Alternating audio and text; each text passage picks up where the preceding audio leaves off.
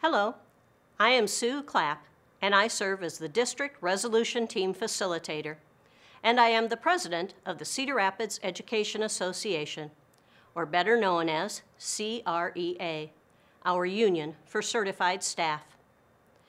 As the Resolution Team Facilitator, I work closely with the district administration to resolve contractual issues involving certified staff or paraeducators. I facilitate monthly meetings using a problem-solving process to resolve concerns brought to our district team's attention. I also develop and monitor intervention support plans as needed. I am available to assist with resolution teams at the building level and may attend their meetings.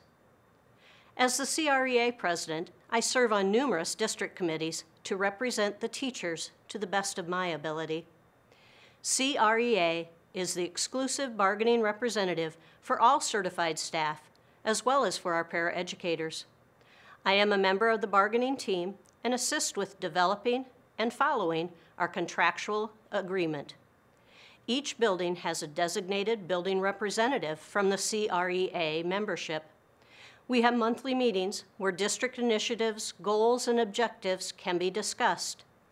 The building representatives then can share this information with their staff and support them at the building level.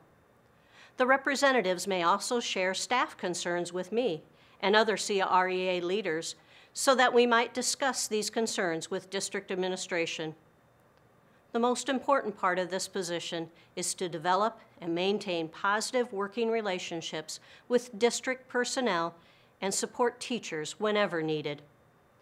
I am proud that I am a graduate of Cedar Rapids Schools and have been a teacher with the district for 37 years. My roles have been to assist our district in providing a nurturing, supportive, and caring environment for staff and students. Our goal has been to have a quality teacher in every classroom who feels supported and valued with a safe and positive working condition. This goal will assist our staff on being able to focus on providing great learning opportunities for improved student success. If you would like to know more about the resolution team process or about the Cedar Rapids Education Association, I would be happy to visit with you. Please feel free to contact me via email or a phone call. Thank you.